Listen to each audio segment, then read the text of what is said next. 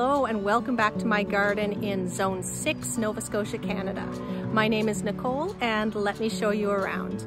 Now fair warning, this is a very honest garden tour. I have not weeded, there is likely to be some tools and some kids' toys lying around, so be prepared for that.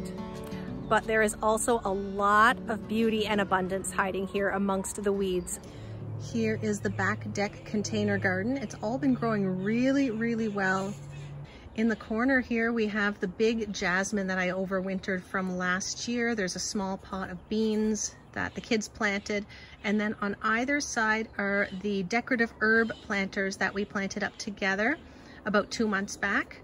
This one has the lemon geranium on the left and the marigold on the right. The whole bunch of cilantro, I have cut a ton out of here and I just sheared just about the whole thing less than a week ago. So all that is new regrowth. And then we have the garlic chives in the back, which I also cut completely about a week ago.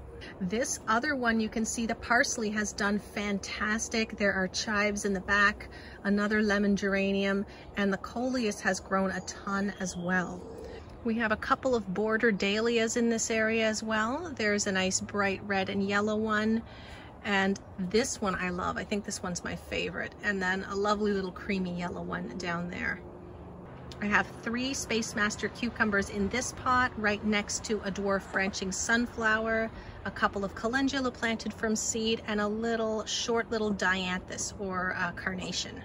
This pot has trailing Indian mint, a blue colored salvia, which is an annual, and a lily called apricot fudge. I also bought this last year and it did not flower the first year. So no worries, I'm just taking care of the foliage and I'll plant it out in the landscape somewhere later. The one I overwintered from last year flowered beautifully this year. In this corner, I have a rosemary front and center. Beautiful decorative geranium and more of that Indian mint. This one has put on a lot more growth than the other one. I'm loving the look of that. The shape of the foliage and the smell is just gorgeous. This is one of the pots we planted up together. The eucalyptus is not making a great centerpiece at the moment. I wish it were growing a little bit more upright, but that's fine. There's lots of beautiful branches on it. And then the little trailing sedum that I overwintered from last year.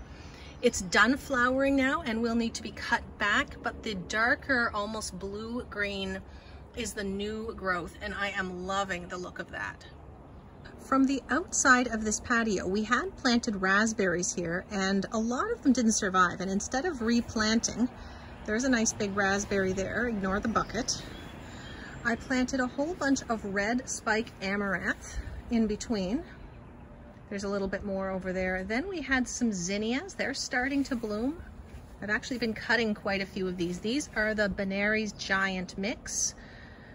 They go all along. The ones that you can't see are just the ones that I have cut in the last week or so, and then they're starting to branch. And in the front, we have a winged ammobium.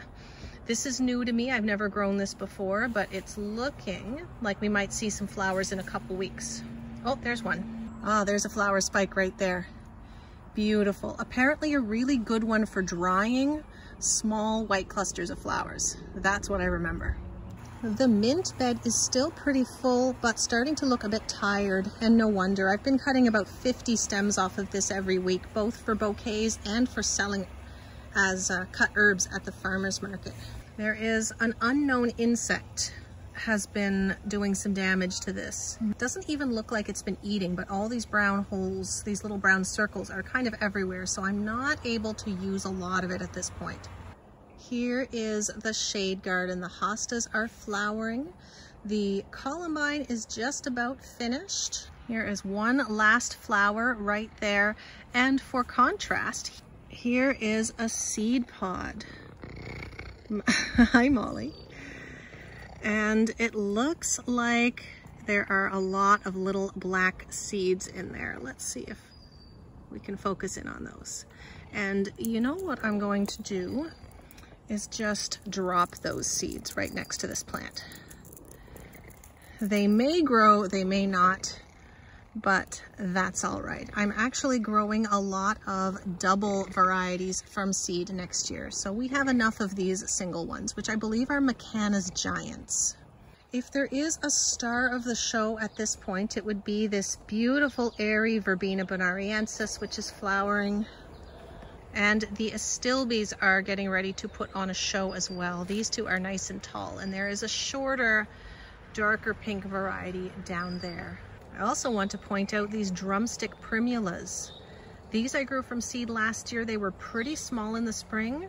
This new growth has been fantastic. I may even have to divide these before fall. And unfortunately, swamping out my curly fries hosta a little bit, so that might have to move. I do have a few pots in this area as well. That one is just a celery. This is white feather hosta. And it does come out white in the spring, but it's a bit darker green now that it's warmer and a bit more, a bit sunnier. You could here you can see in the background the tail end of the foxgloves. Those have been really nice and I'm looking forward to growing more of those next year. But just in front the heucheras. Equally beautiful if not a little more subtle. So for those who are new here, just behind my main garden is a large wooded area and there are invasive rose bushes, there are wild blackberries, there are a ton, there's a ton of everything. Here's where the garden starts. And here is the woods. So we have a hard time keeping weeds from encroaching onto the garden.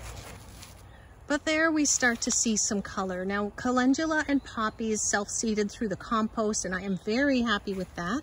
But I did seed some Swiss chard, beautiful golden yellow stalks, and some spinach back here that we have been harvesting. A little farther up are some carrots. There are some beautiful turnips hiding in here. Oh, I think we're having those for supper tonight. In front of the turnips where we have been harvesting and weeding as we go, we have basil, there's some sweet basil, some dark opal basil, closer up to the front, there is Thai basil, and we also have a few of these sugar baby watermelons. Parsley is looking really well, and most of this gets cut and sold for the farmer's market. And the next few rows are all cut flowers. This is where my stock was planted, and I stuck sunflowers, pro-cut sunflowers, in the middle. Here's actually a stalk that I let go because it had a bit of uh, bug damage on it. So that is still there, but the sunflowers now are, they're starting to bud up and they'll be ready for harvest within, I would say two weeks.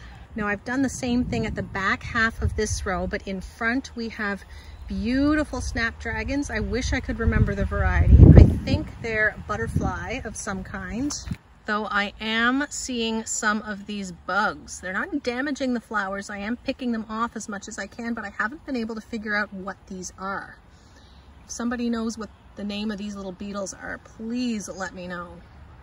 And here we have a few other colors starting to open as well. And here is my other patch of Pro Cut sunflowers. Pro Cut white light, I think. Some new things this year are these asters. These are just gorgeous. These ones are too short at the moment. They're only about 12 inches tall, but my daughter is using them for little mini bouquets at the market. Most of them seem to be pink, but I do have one purple one over there. And these are a spider mix chrysanthemum.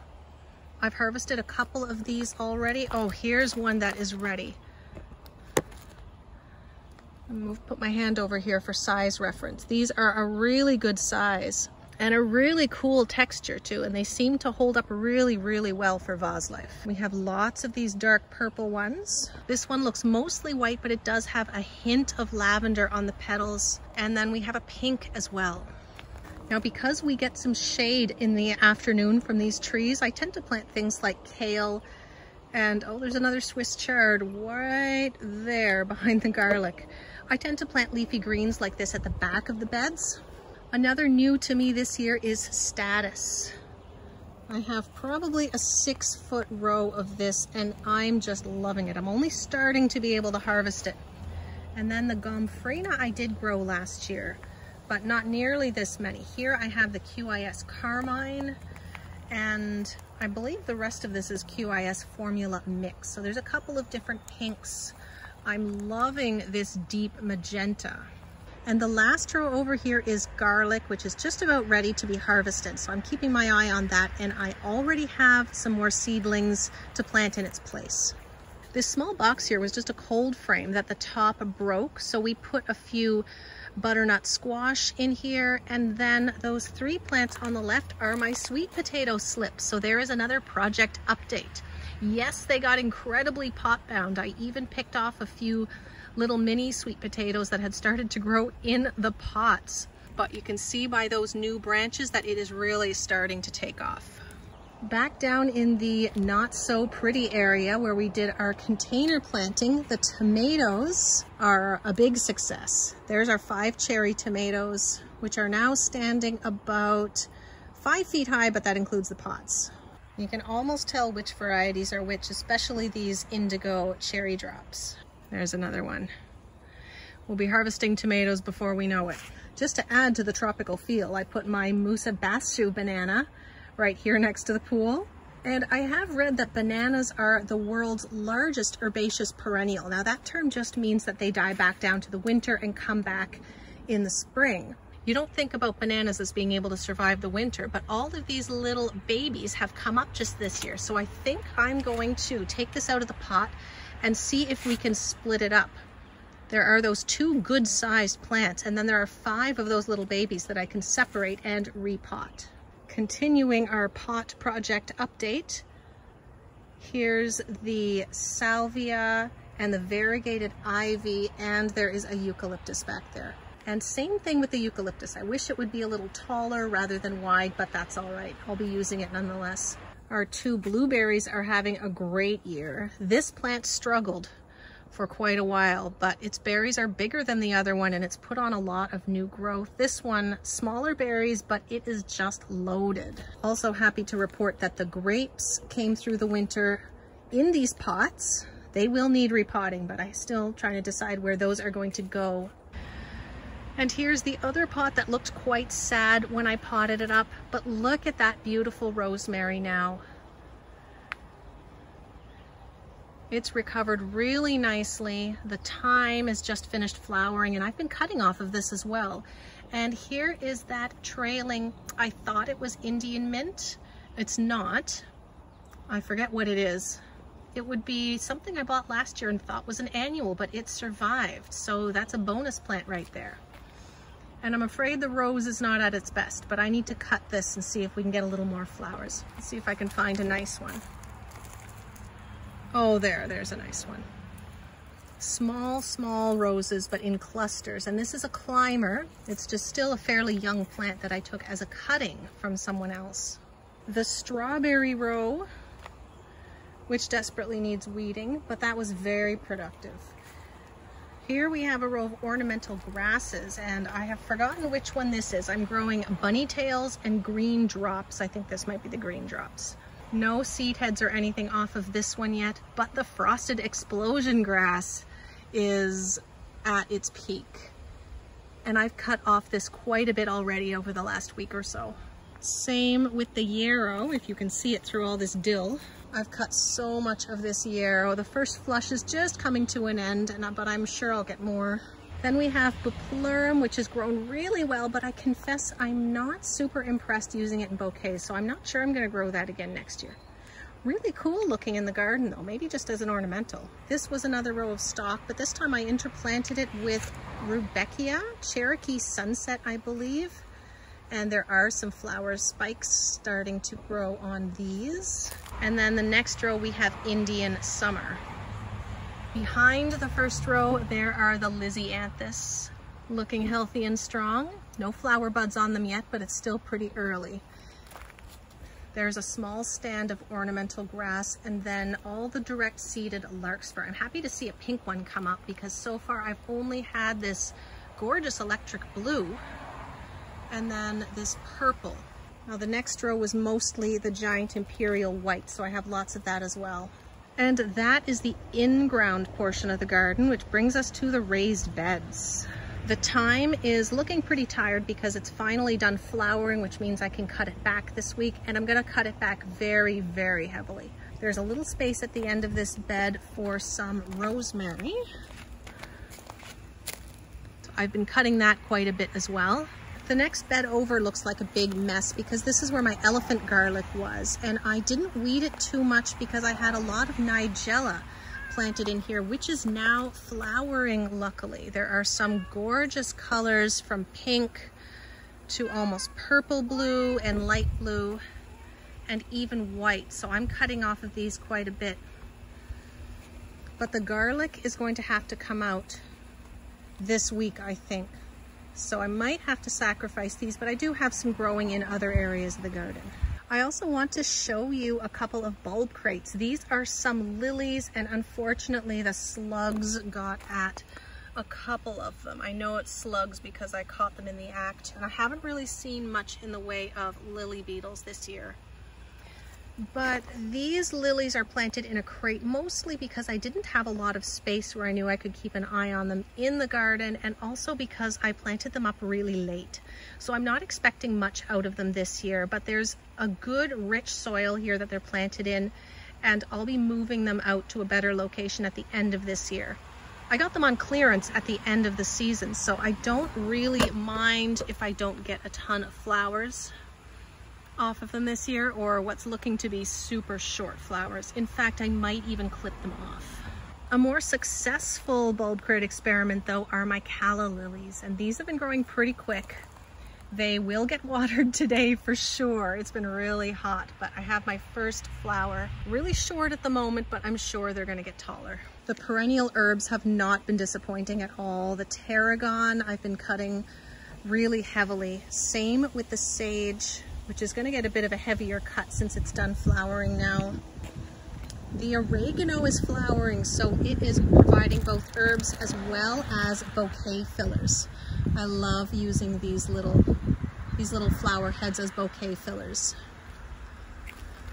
The saffron crocus bed, which is bursting with dill, same as everywhere else. I also have some scabiosa, and this is a new variety to me this year, so I don't know if this is going to do anything else other than that. I kind of thought that they were actually flowers. I don't know. We'll see. This is kind of cool. If this is all it does, I'll use those no problem. Or maybe dry them instead. Now the chives should have been cut back weeks ago. I just never got to it. And the feverfew, there is the overwintered stuff is all gone and cut back but the spring planted, which is, I think, Magic Lime Green. I think I like this one even better than the Tetra White. But now that the Tetra White's been gone for two weeks, I can show you all the new growth that is coming. So I might cut, I might actually move some of these into a perennial bed to see if they come back for another year. We'll see. I'm just happy to see some new growth in there for sure. And here, oh boy, is a poor pot that needs some water. All we have in here is two marigolds and a lemon geranium.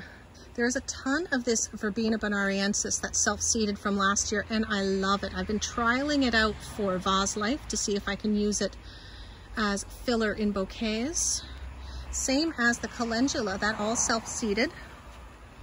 What I have planted here though are some perennial herbs and some of the more decorative varieties as well. This is a chocolate mint, which is being afflicted by that same whatever the heck insect is making all of those tiny spots. So it might get cut back. I have a winter savory that I cut quite a bit off of. A few different varieties of sage. I love having these decorative varieties nice next to the greenhouse. Then we have a variegated thyme, a lemon thyme, a silver edged thyme, and we have a few different oreganos over there. Well, this one is a variegated, and then we have a golden oregano, and then this one is a spicy oregano.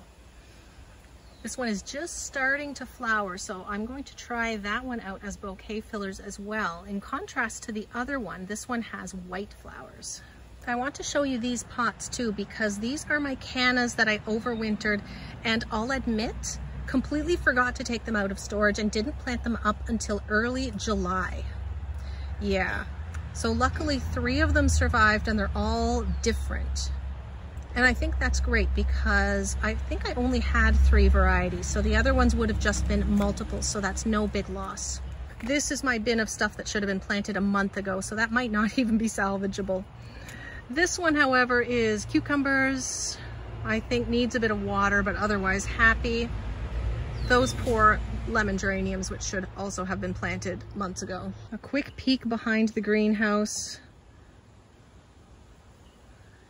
and inside the greenhouse. So you can see I still have a ton more stuff that needs planting up. There's everything from sunflowers to basil to milkweed. This is my next succession of sunflowers. And six more lavender cuttings that have rooted well and I'll be planting those out in the next couple of weeks. This greenhouse is mainly for the peppers and tomatoes, and one of those tomatoes has just about reached the six foot mark. Now, one of the most recent videos where I planted these, I might as well give you a quick project update. The ginger is doing great. The tomato, the lemongrass, it looks like the cumin has packed it in, so I'm gonna plant something else there. I actually have a few more small pieces of ginger that might go in there. The Vietnamese coriander and the, what is that, pineapple sage, however, are really happy. And then not a whole lot of growth from those two rosemary yet, but it's likely just growing roots. And oh look, we have a pepper. Actually, it looks like we have many peppers. Yay. We do still have a small pile of pots ready to be planted that are sitting out there in front of the greenhouse. But these beds I'm so happy with. Look at the bells of Ireland. You'll excuse me for being quite proud of this. Most of them are direct sown too. And the seedlings sprouted anywhere from within a week to some of them came up only, I don't know, maybe two weeks ago. The other surprise is the anemones. I expected they would die off when the ranunculus did, but they are still going. Now some of these flowers are being covered in aphids. I've noticed that over the last few weeks, so I've stopped using most of them in bouquets. This was planted fairly recently, but I'm starting to see some growth on the tomatoes in the back and especially the squash. Bed number three, where the tulips were, we have flamingo feather celosia in front and zinnias in the back. And this, I think, is split between Benary Giant Hot Pink and Benary Giant Lilac, which I think might be these ones here. That one is most definitely bright pink. The fourth bed was a bit of a question mark. What we have here is a lot of daffodil foliage still dying back, and I decided not to move the daffodils this year. I had direct sown a whole bunch of things, which I did use. Um, I ripped most of it out. I just left some bachelor's buttons, there's some Nigella and one really gorgeous California poppy, which I'm not cutting, I'm just enjoying that. And these large tomato cages are there to support cucumbers and small decorative squash, which I'm gonna grow vertically. So some of them will climb up, some of them will sprawl across the bed, but the daffodil foliage is just about died down, so that should not be a problem. And it has been, I think, only five days since I planted all the dahlias. Some of them are still looking pretty sad but I'm seeing a lot of healthy green shoots. Oh, look, even some flower buds. We are now at the front of the house and these beds are in pretty good shape, but I still consider these basically holding beds for everything that I have not found a permanent place for yet. There is a little bit of design to it. You can see a bunch of different dianthus here at the front. There is a lot of lavender, which is really happy. It's been blooming for about two weeks, just finishing up. The creeping thyme, which has spread so much that I need to find a better home for it, I think. It shouldn't be this close to the lavender. A lot of things that I love about this bed though, the Asiatic lilies, the day lilies. There's a beautiful perennial phlox it's light pink with a dark, dark center, which I just love. Um, a red bee balm. The daisies, unfortunately, tend to get flattened by wind and rain when they start to bloom every year. The Oriental hybrid lilies are coming and I am so excited. These ones here, I'm pretty sure are Casablanca and I have a, um, a stargazer and some rose lilies as well. The Crocosmia, I am so excited to see. I put those in last year. There should be three varieties. I'm still waiting for the other two to show up. On the other side, amongst all the weeds, we have a big, beautiful lemon balm. Not a ton of color right now where the foxgloves have finished. The Asiatic lilies are just finishing. There's still some buds waiting to open. A nice big stand of Oriental hybrids over here as well. And a little lime hydrangea getting ready to flower. This is a smaller kidney-shaped garden that's right down at the corner of our property near the road. And it's definitely a dry garden. I hardly ever water this. We have a big tall Karl Foerster reed grass, which is one of my favorites. I have a typical echinacea, just the purple coneflower that I grew from seed. And I have a few other nursery bought varieties as well that are a bit more decorative. We have milkweed that I grew from seed, two varieties, one which is much more mature and the other one which is still quite small that um, was only grown from seed last year. There's some more phlox, a lot of black-eyed Susans, and daylilies, lilies, a few other random things. There were some really nice um, irises that were blooming here in the spring. And it's also in the process of being fairly thoroughly weeded again. Now this spot here is what I really want to show. And this is our big work in progress of getting rid of as much of this grass as, po as possible. Hi, Molly. This is a work in progress, but we've been at it for a couple of weeks now in between working on other projects. We're definitely taking a no dig approach to this because it is just, there's just too many weeds, really relentless ones that spread and the soil underneath isn't all that great. So we are going to build it up quite a bit over the next couple of years. Our front yard has quite a slope to it and at the bottom it's actually below the level of the road. So we can build it up a little bit to the point where there is lots of good soil. So the space that we have now is probably about 10 by 25 feet for now and I'm building it on little by little which is why the cardboard is still sticking out of the side.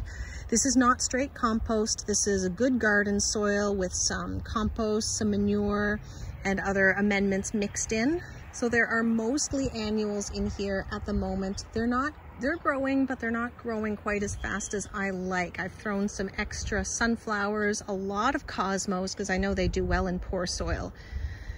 Here at the front, there are celosias and amaranth, and I'm definitely not happy with the growth, but I was sort of prepared for that to be the case, which is why I stuck mostly just my leftovers in this area. I do have a long-term plan for this and I'll be sharing that in a future video. The only other thing to note in the front yard is this old fire pit full of spearmint, which is just starting to flower and I'm happy about that because I love the spearmint flowers to use in bouquets. Flowering spikes are really nice and I prefer them to the peppermint ones. The kids' garden sure has grown. So that is all for today, everybody. Thank you so much for watching. Next time, I will be doing some maintenance in the perennial herb beds, and I'll be making some changes in there as well. So don't forget to like and subscribe, and I will see you next time.